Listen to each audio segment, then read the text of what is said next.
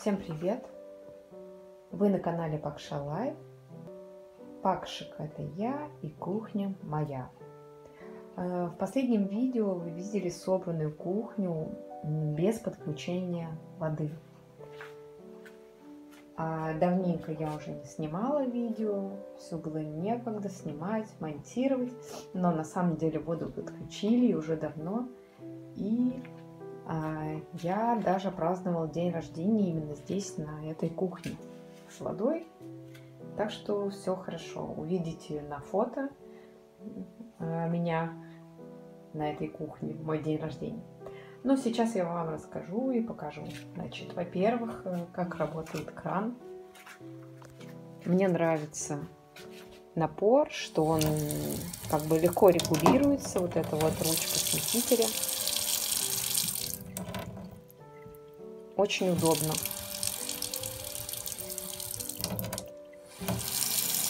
Мягкая достаточно струя, то есть никуда ничего не брызжет. Сначала я даже как-то на это не обратила внимания, если честно. Вот.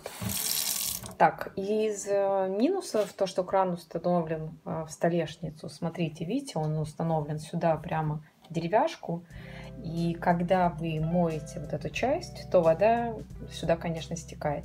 Но я сразу тряпочкой как бы ее стираю. Так, что еще у нас, какие изменения появились? Э, я вам говорила, что мне очень нравится, а, что в мойке здесь есть вот это крыло, ну, пока нету а, другой сушилки. И вот сюда сначала складываю прибор.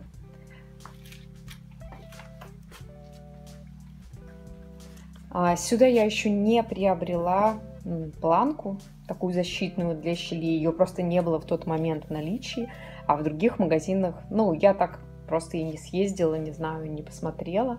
А верхние шкафы я не заказала.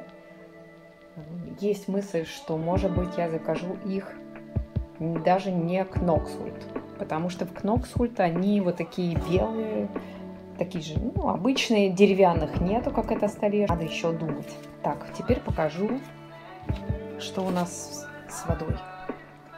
Вот эти шланги. Значит, я покупала сама, покупала метровый, как мне сказал мастер, потому что у меня, как видите, шкаф стоит далеко. Сюда тоже идет полочка, но на самом деле я ее не устанавливаю. То есть вот видите, здесь такие дырочки на полке потому что надо делать в этой полке выпил для этой сливной трубы, и на каком тоже расстоянии, уровне. И вообще мне нравится, когда мусорное ведро спрятано в шкаф. Сейчас пока у меня здесь всякая кухонная утварь, кастрюли, там электроприборы, варенье. Но на самом деле вот там шкафы пустуют. То есть туда еще можно много чего а, положить. Открываем этот шкаф. Здесь у меня также все по-прежнему. Сверху, значит, я ставлю такие более используемые товары. Смотрите, здесь есть еще в углу такие приспособления для крепления к стене. Но поскольку у меня кухня будет трансформироваться, я как бы кухню не прикрепляла к стене. Так, смотрим, что же стоит у меня рядом. На самом деле можно подумать, что это что-то относится к мебели, к Ноксхульт. Но это нет, это на самом деле строительный козлик, который я просто красиво накрываю и размещаю. У меня дополнительная получается такая поверхность. И получается в целом ну, мини-кухня с таким поворотом. И здесь у меня практически все вмещается. В стиле не лежат столовые приборы столовые приборы у меня в отдельном, скажем, ящичке, и это находится не здесь. Качество фасадов и столешниц. Что я могу сказать? Просто у меня у друзей была кухня Кноксхольд, и они пользовались ей, ну, 10 лет. Это точно. Вот, потом просто съехали на другую квартиру.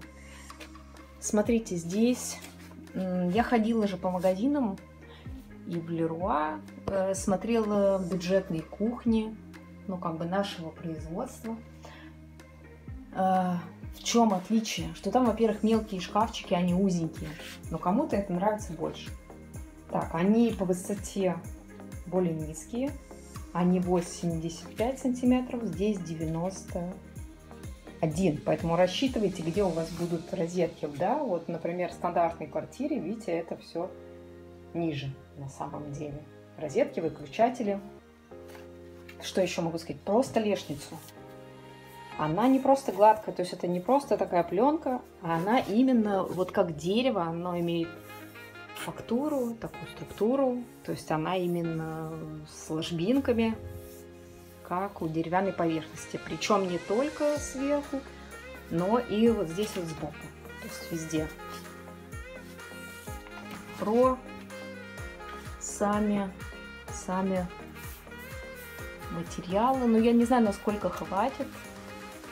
Эм, но надеюсь, что все-таки за свою стоимость прослужит, по крайней мере, несколько лет.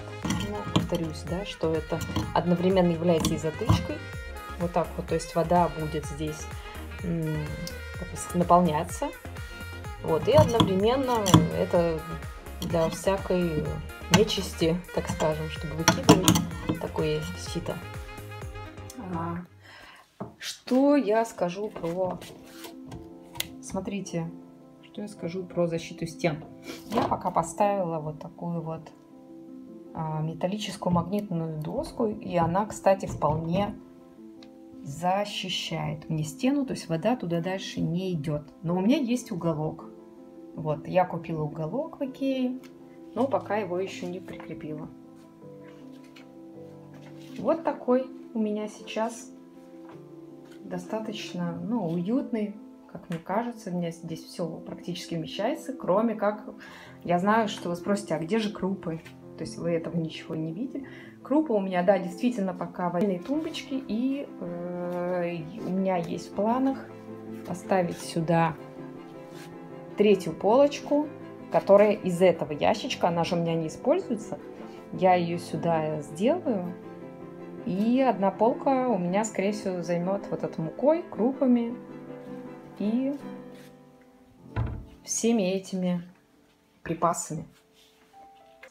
Хотелось бы рассказать вам, конечно, про стоимость, но это будет, скорее всего, в отдельном видео, а, потому что стоимость э, нужно посмотреть э, всех частей. Прямо расскажу про сборку, про мойку. Э, и как это происходило. Спасибо за просмотр. Подписывайтесь на мой канал. Всем пока!